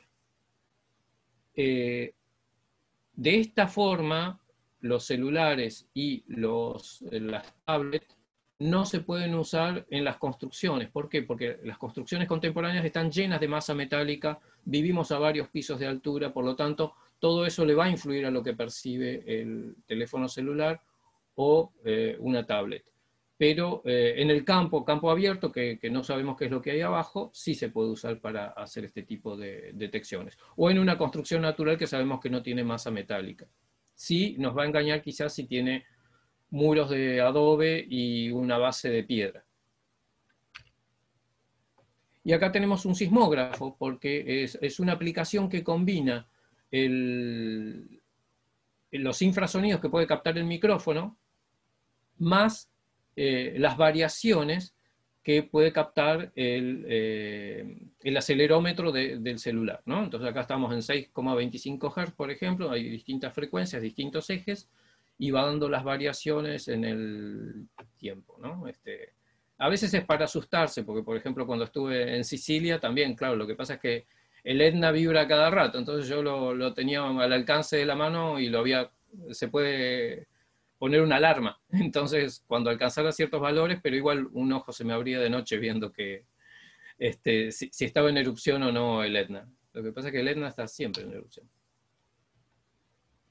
Bueno, y esta es una propuesta eh, para que hagan el ejercicio, si quieren, para la próxima clase.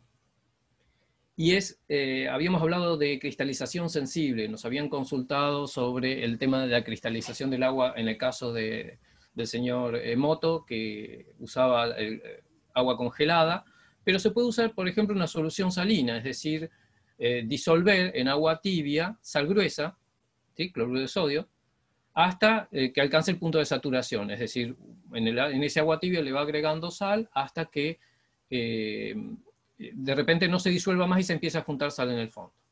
Bueno, se filtra para que no pasen esos granos de sal y se pone en, platitos. Tiene que ser de esa misma preparación para que tenga la misma concentración ¿sí? y haya sido hecho en el mismo momento. Y se pone en distintos lugares, por ejemplo, de una habitación.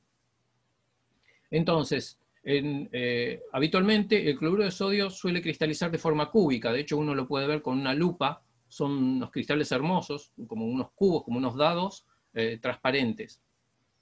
Y aquí vemos el plato que estaba sobre una zona neutra, es decir, sin ninguna línea, ni falla geológica, ni vena de agua, ni Harman, ni Curry, cristalizó en pequeños cubos regulares. El segundo estaba sobre una línea y ahí ya empezamos a ver cierta irregularidad en eh, la cristalización. El tercero sobre un cruce de líneas, sobre un cruce doble, se cruzaban dos líneas de Harman. Y el cuarto sobre un cruce triple, es decir, dos Harman y una vena de agua, o dos Harman y una Curry, o una Harman y un cruce de Currys. Entonces fíjense cómo eh, el proceso de cristalización, que es una energía muy sutil, es alterado eh, a medida que se va evaporando el agua. Esto depende de la humedad del aire, del lugar donde estemos. O sea, si, uno está en la puna, en, dos días ya se secaron estos platitos. En, el caso de eh, Buenos Aires, por ejemplo, necesitamos cuatro días y algunas veces cinco días no alcanzan para evaporarse, lo cual es un problema porque da pie a que pueda haber alguna, alguna caída, alguna bacteria o algo por el estilo y altere la cristalización. Entonces lo mejor es eh, un lugar bien seco para que eh, se evapore lo antes posible. Entonces, bueno, si, si, se animan a hacer la prueba, este, tiene que ser lo más finito posible la cantidad de agua, por eso estos platitos que tienen como para apoyar la taza en el fondo, mm, el, el nivel de agua será de unos 3 milímetros, entonces se evapora bastante rápido. No sé si quieren hacer alguna pregunta antes de pasar al siguiente tema y no, no atiborrarlos de, información. Mm, Claudio, la consulta que quería hacer es sobre la cantidad de sal que habría que utilizar para, esta, para este ejercicio que, mencionabas. Sí, cuando se hace en saturación, el mismo medio te lo dice, es decir, tenés el agua eh, tibia, vas agregando con una cucharita de café o de té, vas agregando sal gruesa, batís, y va a llegar un momento donde se empiezan a formar cristales. Es decir, ese agua ya está en saturación, entonces ahí ya no hay que seguir, hay que filtrarla y ponerla en los platitos. Ya, y la saturación es entonces es inmediata, no hay que esperar. No, no, no, la saturación es una cosa, el tema de cristalización por evaporación es otra. Ya, ¿y cuál eh. sería el tiempo óptimo para, para ver, digamos, si está cristalizado para deducir si hay esa cuando se evapora todo el agua, depende de cada lugar, cuando se va todo el agua queda esta superficie, este, como en las salinas, queda esta superficie blanca. Mm, ya. Y asociando a esto, ¿qué estaría ocurriendo o bueno, qué pasaría en el Salar de Uyuni, no? Porque esos cristales que mencionas realmente son muy hermosos y se pueden ver en el Salar de Uyuni, ¿no? Esa composición que es muy interesante. Sí, bueno, uno puede caminar por los salares y ver dónde hay, uno tiene una trama regular y donde hay alguna irregularidad uno puede distinguir eh, esos puntos. Habitualmente se forman como estrellas hermosas, ¿no? especialmente donde hay chimeneas telúricas, se forman como, como una especie de, de mandalas, por decir así, de cristalización. Porque en este caso hay que ver también la composición, porque eh, a veces hay cloruro de potasio, no, solo cloruro de sodio, y tiene una forma de cristalización distinta y al cloruro de potasio le gustan ciertas alteraciones eh, geobiológicas. Pero hay, algo muy interesante además a tener en cuenta. Los puntos geopatógenos afectan no solo la cristalización de minerales, sino también de sustancias del cuerpo, y afecta la velocidad de coagulación de la sangre. Entonces hay eh, distintos parámetros que uno puede distinguir que cada lugar influye de forma distinta. Por ejemplo, si a ustedes les quieren o tienen un, aparato para medir la presión sanguínea, prueben en distintos lugares de la casa y les va a dar eh, valores distintos. Entonces, lo que nosotros decimos es que estas cosas las tendrían que estudiar los bioquímicos, porque no es lo mismo someter una muestra a cristalización en un punto que en otro. Entonces, ese valor que nos piden tanto para el preoperatorio, que después nos terminamos muriendo a la media hora, eh, quizás dio mal en ese laboratorio. El, esposo de Lilia, por ejemplo, cuando desconfía de, un análisis, lo manda a hacer a otro laboratorio y habitualmente los valores son distintos. Entonces, eh, el tema de que para los geobiólogos, eh, cada lugar influye de distinta manera sobre un montón de procesos. Entonces hay que tener en cuenta también, recién decíamos del postoperatorio, a alguien que ha sido sometido a una operación delicada, el lugar donde se lo pone para que se recupere de la anestesia es fundamental para saber si sobrevive o no sobrevive.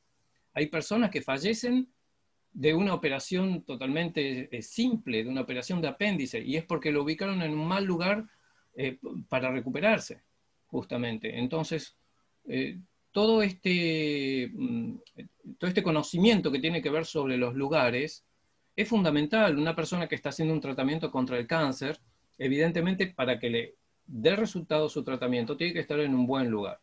Entonces, eh, estos procesos bioquímicos son alterados por eh, la geopatogenia y por lo tanto es, muy importante difundirlo. Por eso nosotros hemos dado charlas en hospitales eh, por ejemplo, en el Hospital de Niños de la Ciudad de Buenos Aires, este, nos invitaron los mismos médicos para que eh, ponerlos, especialmente porque están con el tema de em, todo lo que es implantes y cultivo de tejidos y estudio del ADN. Entonces, donde se tienen esas muestras es fundamental. Así que bueno, el, tema es muy interesante. Eh, perdón, me nace una inquietud ahorita que están hablando de la de las y la Harma. Bueno, bueno, yo me pregunto, ¿no? Y, también le pregunto a usted, ¿qué pasa con las, eh, con las pirámides de Egipto? Eh, ¿De qué manera influye? Por porque yo he visto que este, este, este, tipo de pirámides, por ejemplo, la, están usando, ¿no? Para, qué sé yo, para tratar casos incluso de cáncer y algunas eh, enfermedades de la piel y todo, ¿no? Es solamente como una inquietud. ¿Qué pasa, digamos, ah, si hablamos de las energías, Harman, sí. y, las otras? Eh, lo hemos estudiado porque mm, es, un campo eh, controversial dentro de la geobiología, lo que se llama ondas de forma. el estudio que tiene que ver con la geometría y con los materiales.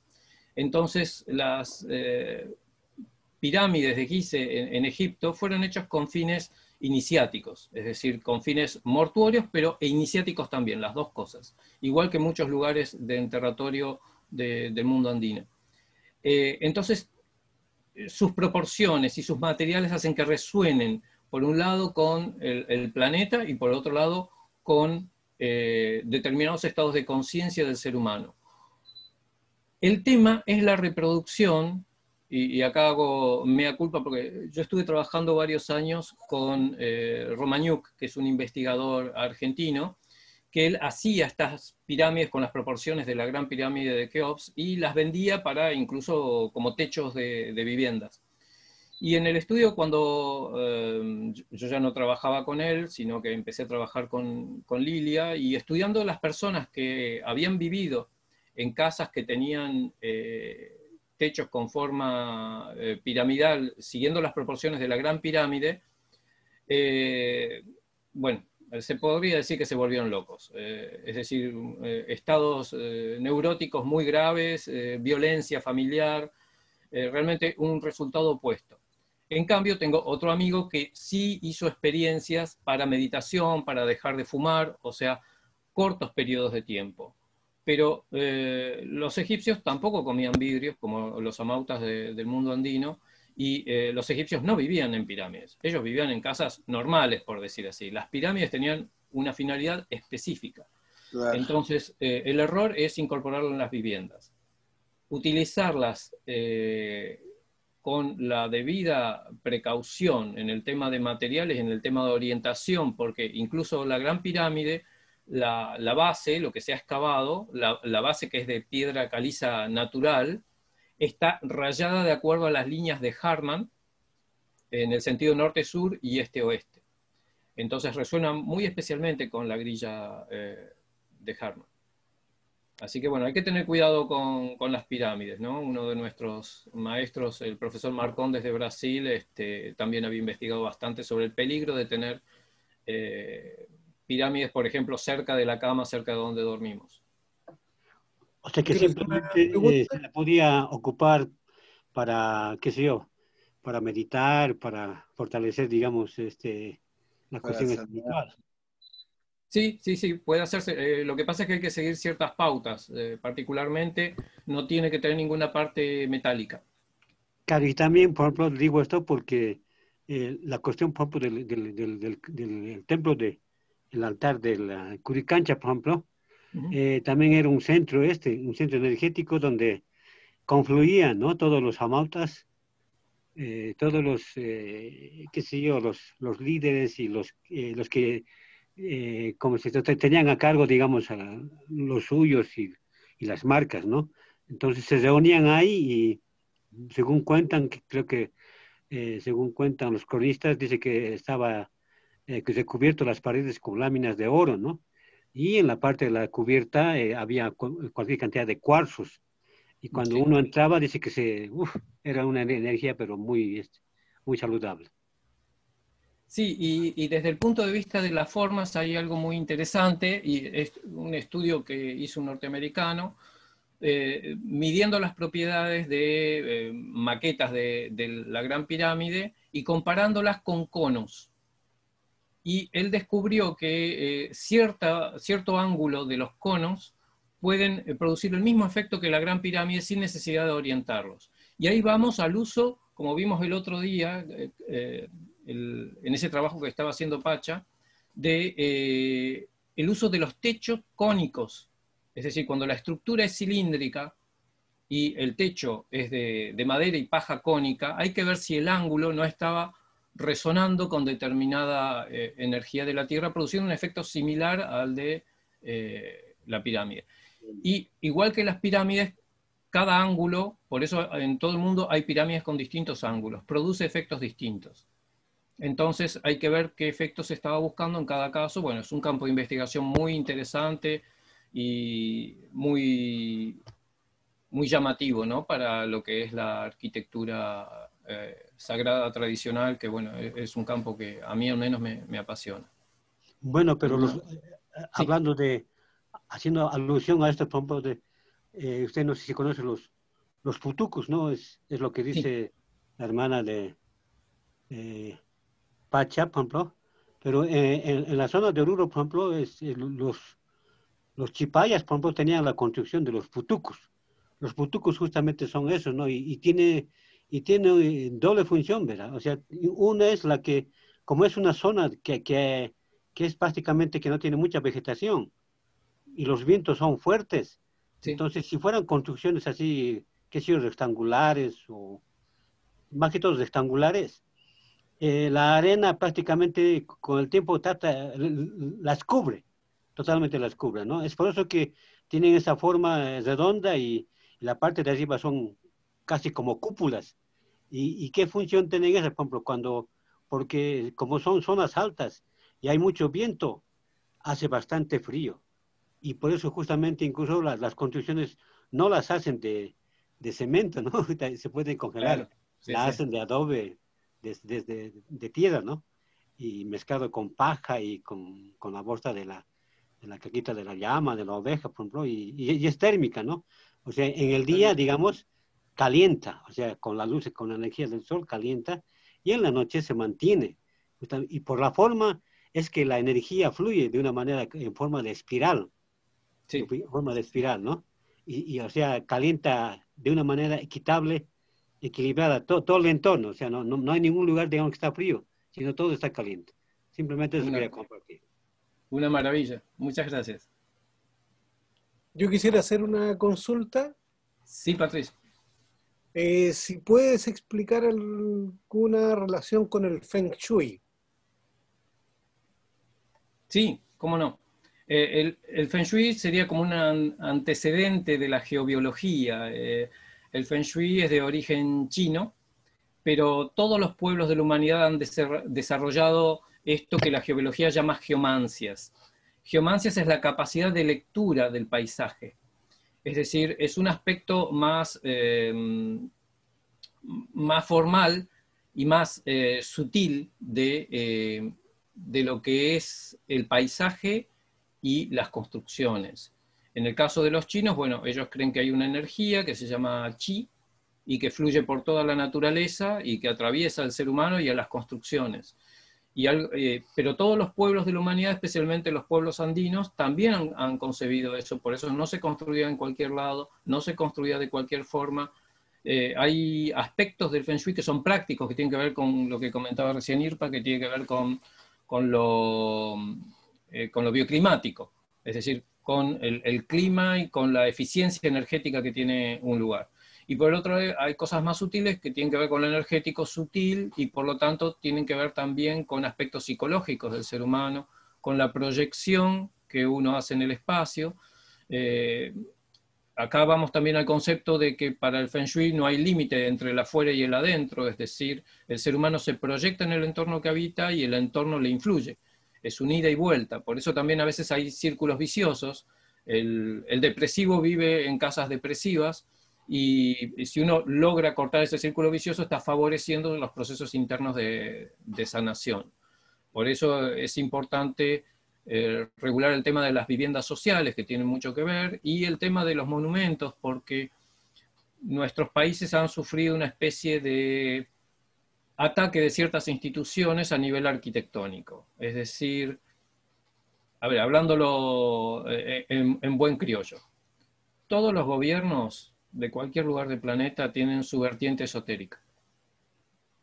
Dentro de esa vertiente hay distintos grupos de poder que han tratado de dominar aspectos sutiles del ser humano y especialmente tratar de controlar a las masas y aunque parezca mentira, a través de la monumentalidad se puede afectar el funcionamiento de un pueblo. Esto ha sido muy estudiado, por ejemplo, en el tema de la arquitectura fascista, la arquitectura nazi, la arquitectura Speer, que fue el arquitecto de, Hitler, y eh, la arquitectura stalinista, y en, nuestro país, en Argentina, también hemos tenido ejemplos de ese tipo de arquitectura. Es una arquitectura que trata, a través de los edificios públicos, de imponerse eh, y transmitir ciertos valores a nivel inconsciente. Entonces el Feng Shui también ha estudiado eso, por eso el Feng Shui estaba prohibido para, el pueblo, solamente los gobernantes y eh, las clases altas tenían acceso al servicio de los maestros de Feng Shui y estaba prohibido difundirlo públicamente. De hecho, el, santo, por decir así, del Feng Shui era un mártir, en realidad, que, huyó de la corte y difundió sus conocimientos al pueblo y, lógicamente, lo mataron. Eh, pero bueno, también ha sucedido en nuestro continente, evidentemente, la, extirpación de idolatrías, la destrucción sistemática de los monumentos precolombinos, eh, ha tenido un efecto incluso sobre la población y ha sido este, manipulado conscientemente. en el caso de nuestros gobiernos eh, criollos, eh, fueron influenciados totalmente por los masones. Entonces, aún el trazado de nuestras ciudades sigue esa bioenergética, por decir así, perversa, si se quiere. No sé si, si era tu pregunta, Patricia. Sí, no, lo que la pregunta era porque cuando me puse a estudiar el, tema del Feng Shui, encontraba que era muy parecido a lo que yo encontraba en terreno acá. nunca he hecho geobiología, pero, pero es algo que sale por todos lados. O sea, no hay forma de explicarlo sino por el conocimiento que tú estás de alguna manera mostrando. Sí, y, eh, y, cómo se llama, eh, coincido completamente contigo con lo que dices de, de la monumentalidad. De hecho, en este momento estamos enfrentando un tema acá en Santiago, que es la Plaza Dignidad, que es un tincuí. Y eso voy, a, explicar un poquito. Yo no, no, entro en el tema estás tocando tú, pero eh, me llama la atención lo complementarios que son los temas.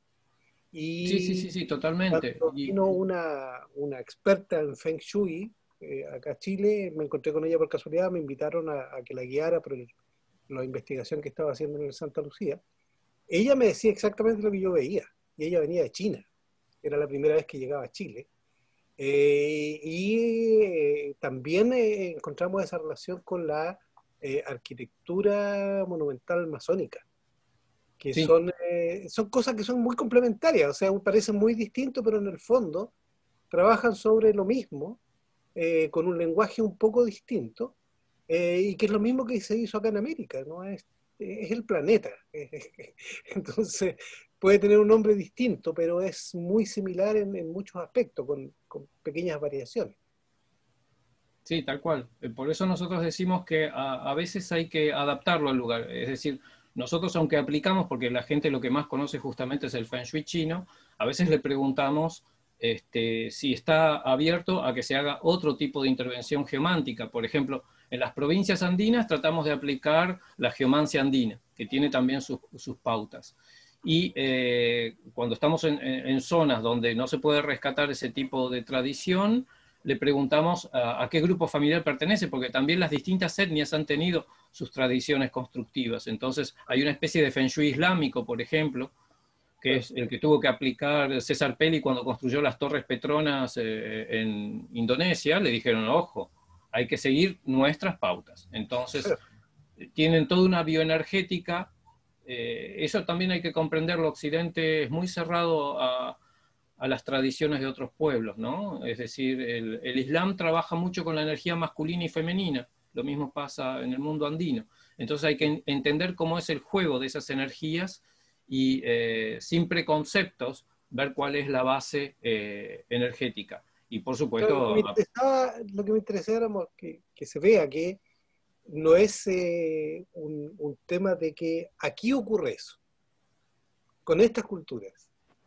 Es un tema transcultural, es un tema humano. Es como cuando hablamos de astronomía, cuando hablamos de el tema que estoy viendo ahora, que es topografía, son temas transculturales, que tienen expresiones distintas, materiales a veces, pero en el fondo están hablando de exactamente lo mismo. Sí, y, como tú decías, este, los mitos es, la fuente fundamental. El Feng Shui chino se apoya permanentemente en mitos y leyendas para poder traducir estos conceptos. Y eh, en el caso de nuestros pueblos indígenas también, o sea, por ejemplo, ustedes los mapuches tienen el, mito de Tren Tren y, y Kai Kai.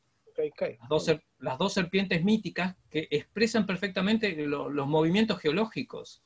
Es decir, por un lado el movimiento orogénico, que es de, tren-tren, la que salva a través de los pillanes a, los seres humanos, y, y Kaikai, que es el, movimiento de los maremotos y de las aguas subterráneas tratando de erosionar lo que Tren Tren eh, construye. Y las dos fuerzas son complementarias, no son ni positivas ni negativas, trabajan una con la otra.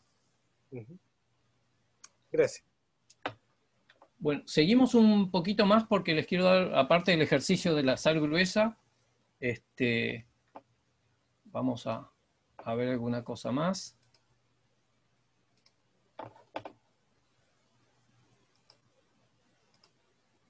Ah, no, es la misma. Profesor, disculpe, una consulta. Sí, ¿alguien me está hablando que no escucho? Sí, mire, tengo la, siguiente inquietud respecto a lo de la sal, por eso quería preguntarle antes de que pasáramos al siguiente tema. Eh, se escucha muy bajo, Christopher. ¿Se escucha bajo? ¿Ahí? ¿Ahora sí? Un poquito más, sí. Ahí sí, ahí. Sí. Que en el caso del experimento de Emoto, en realidad la novedad no era que los cristales se formaran diferentes en la naturaleza, sino que el pensamiento de las personas que estaban alrededor de del agua transformaba las moléculas de los cristales. En este caso pasa lo mismo con la sal. Sí, sí. También. O sea, ya eh, como te explicaba la vez pasada, décadas antes, yo diría siglos antes, ya se venía experimentando lo mismo. De hecho, la alquimia se basa en eso en la interacción de la mente humana sobre la sustancia y en los procesos de cristalización. Bueno, seguimos, vamos con la prospección radiestésica. Bueno, eh, la radiestesia es un método indirecto también de, de localizar distintos factores que están debajo del suelo. Y desde la más remota antigüedad se han usado las famosas varas del rabdomante, que son como horquetas que se, obtienen de árboles de madera blanda, son en forma de, Y, eh, que se sostienen con ambas manos y frente a vetas de, metales, en este caso es un tratado del 1600, eh, aquí lo trajeron los jesuitas cuando eh, fue la colonización, para detectar las vetas de metales se utilizó este mismo método, se va caminando y las varas se mueven. Aquí vemos en el siglo XIX la misma práctica cuando uno atraviesa estos eh, lugares. Entonces, eh, esta en realidad es una respuesta, como vamos a ver, neuromuscular inconsciente. Lo que yo quería eh, proponerles, porque una vez más, el instrumento es el cuerpo, entonces vamos adelante un poquito, después en la clase que viene profundizamos un poquito más. Vamos, aquí. El tema del péndulo. El péndulo también es, simplemente un amplificador de un movimiento neuromuscular inconsciente. Es decir, el, el que mide es el cuerpo. Y hay un artefacto que de alguna manera se mueve amplificando un movimiento apenas perceptible. Entonces, el péndulo también desde hace miles de años se utiliza. Yo les voy a proponer que para la clase que viene, si ustedes ven, se consigan una bolita de madera o un anillo, cualquier cosa que se pueda suspender de un hilo, y lo traigan a la clase porque vamos a hacer experiencias eh, con él. Puede ser un hilo, puede ser una cadena, puede ser una, una plomada de pesca, cualquier objeto que tenga un anillo y que pueda suspenderse de algo que tenga fácil movilidad. Entonces, eh, con eso vamos a ir eh, avanzando. Ahora nos quedan unos minutos, así que continuamos con la...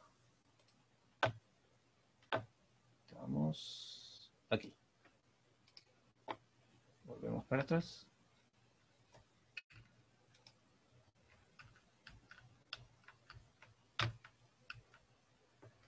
Bueno, en el siglo XX, mediados del siglo XX, el gran científico fue Rocard de Francia, que eh, empezó a, pensar en, la rabdomancia y la versión más científica que es la radiestesia. Radiestesia significa percepción de, las radiaciones. Y dijo, acá hay algo interesante, porque el no, está comprobado estadísticamente que el 90% de los radiestesistas pueden localizar efectivamente eh, agua. Eh, de, hecho, hasta la Organización Mundial de la Salud y, algún papa bendijo la radiestesia justamente eh, desmintiendo a los que decían que era obra del diablo, para poder encontrar agua en países que tenían un gran desierto. Entonces, ¿qué hizo ir rotar en la Universidad de París? Enterró una barra de metal y eh, dejó que creciera el pasto, dejó pasar unos meses y convocó a eh, los mejores radiestesistas de Francia. Y con una cámara fotográfica de, exposición sucesiva fue tomando fotos del movimiento de estas personas y de eh, su varilla de raptomante. Entonces, efectivamente, vio que bajaba la varilla en promedio cada vez que cruzaban sobre la barra metálica sin saber que estaba ahí la barra metálica. Otra experiencia que hizo fue sacarles la vara y hacer que caminaran. Y la fotografía reveló que había una pérdida de la verticalidad del cuerpo. Otra experiencia que hizo es hacer que pasaran eh, personas que no eran rabdomantes que eran estudiantes del campus de la Universidad de París, y encontró que estaba esta misma desviación. Entonces, se llegaron a varias conclusiones. Una de las primeras teorías de Irrocar fue que las radiaciones telúricas afectaban al líquido del oído interno que dijimos que tiene un gran efecto sobre el equilibrio.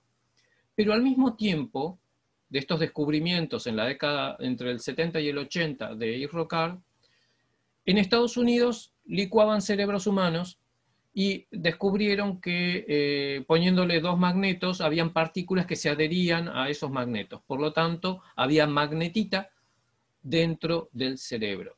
Y a eso actualmente se lo conoce como biosíntesis de la magnetita. Es decir, el cuerpo humano sintetiza de los alimentos un mineral que es la magnetita, que es un mineral ferromagnético. Es decir, es alterado por campo magnético natural no solo el ser humano, acá tenemos un bicho que está midiendo también este, con su percepción de cambio de campo magnético, pero también las palomas mensajeras, las abejas, las tortugas marinas, como dijimos la vez pasada, los cetáceos, tienen eh, esta capacidad biomagnética. Este biomagnetismo hace que el cuerpo de estos animales, incluidos los seres humanos, acumule partículas de magnetita donde los músculos se insertan en los huesos. Hay como unos huequitos en los huesos y ahí donde se agarra el músculo hay partículas de magnetita que asumen la forma de agujas. Y ante la mínima variación del campo magnético, se mueven y transmiten esa información a los nervios que inervan a los músculos. Por eso decimos que la radiestesia es una reacción neuromuscular inconsciente. La radiestesia física, como vamos a ver, hay otra radiestesia que es la radiestesia mental. Entonces, Em, lo que se produce es, ante una alteración del campo magnético, un cambio en el tono muscular, un cambio en la reacción muscular. Y todos estos artilugios, como son los péndulos, las varillas, eh, como vamos a ver en el mundo andino también había su versión, responden eh, a esta variación del campo magnético. Esto, eh, este artículo es de la revista La Recherche, una de las mejores revistas científicas del mundo. Acá tenemos, por ejemplo, qué pasa con estas varillas geodinámicas. Esto es lo que les explicaba la vez pasada Nahuel. Es decir, son varillas desarrolladas por Harman, es una varilla metálica en L, pero en realidad el material puede ser cualquiera. Y cuando uno atraviesa determinados eh, factores geobiológicos, se cruzan. Pero uno puede a través de la ejercitación eh, condicionarse para saber qué es lo que está midiendo, que a veces mucha gente es sensible, o por ejemplo, si uno le da las varillas a un niño, se le va a cruzar en cualquier lado. ¿Por qué? Porque no sabe cerrar su ventana de percepción para lo que está percibiendo. Con la práctica radiestésica, que lleva años, uno puede eh, graduar la ventana de percepción de tal manera que sabe si está midiendo una vena de agua, si está midiendo una falla geológica, una red de Harman, o está buscando eh, algo que esté enterrado. Mm, los paraguayos habitualmente buscan mucho este, quien les desentierre los tesoros este, de los jesuitas. Y, bueno, la, eh, la está a la orden del día ya.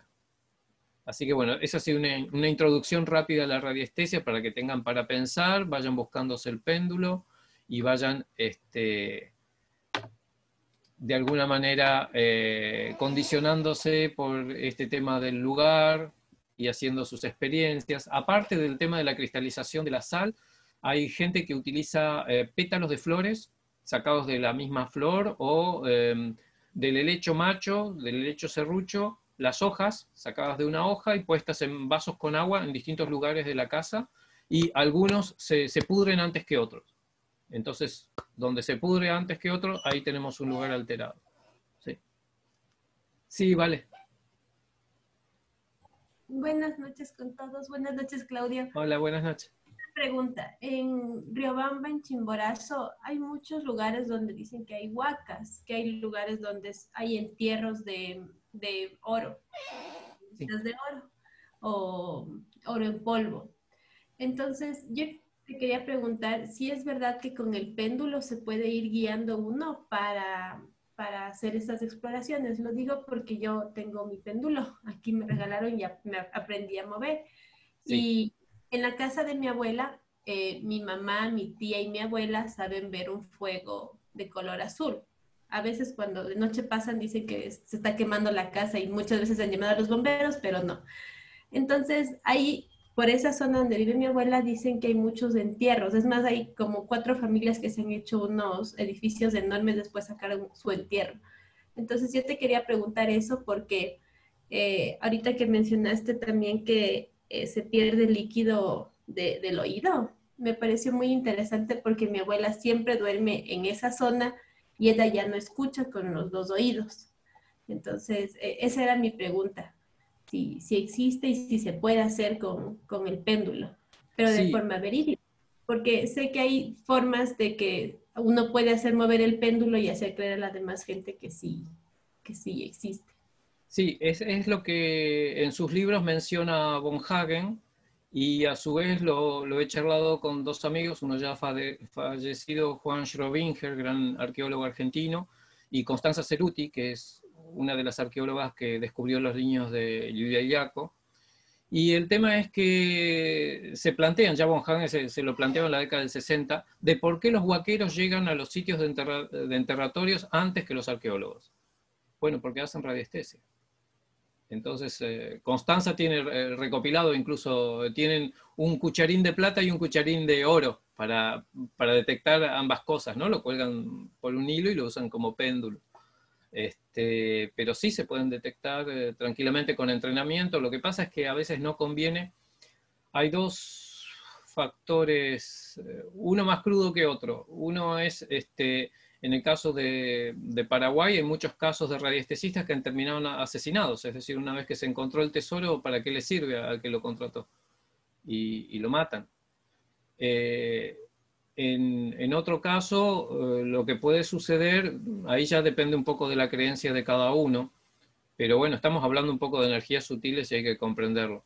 Así como en Egipto son famosas las maldiciones de, los faraones para la protección de las tumbas, de hecho están escritas en jeroglíficos, estas maldiciones, eh, tanto los tesoros de los jesuitas como las, huacas y los enterratorios del mundo andino eh, tienen sus cerrojos energéticos, por decir así, sus protecciones.